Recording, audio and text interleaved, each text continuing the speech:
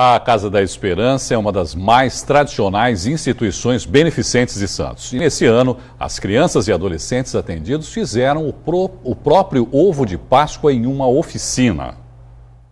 Com toucas e aventais, eles se transformam em ajudantes de cozinha. Colocam a mão na massa e aprendem a fazer ovo de Páscoa. Muito legal e divertido. Gostou? Sim. Nessa produção, eles contam com uma ajuda mais que especial. Os pais também participam. Cada momento com o filho é uma alegria, mas para o pai também, né? E nessa interação aqui, que eu, como eu disse pela primeira vez ouvindo, né? Estou muito feliz. É um presente que eu ganhei hoje com eles, né? Eu achei super divertido, diferente, porque a gente nunca teve nada disso na Casa da Esperança.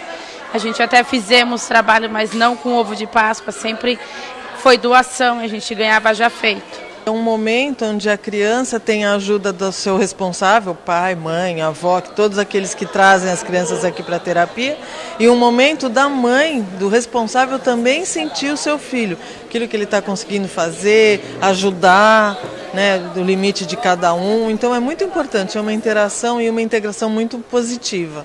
Todos os anos a casa distribui ovos de Páscoa para as crianças.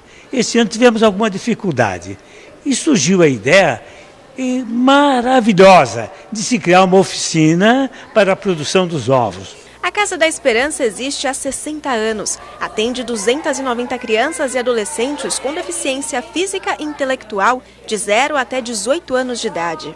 Nós atendemos 11 municípios da Baixada. A casa completa este ano 60 anos. Enfim, é uma casa esplendorosa. E ela sobrevive graças à ajuda da comunidade. Então, os eventos são todos muito importantes na ajuda para a manutenção dos objetivos.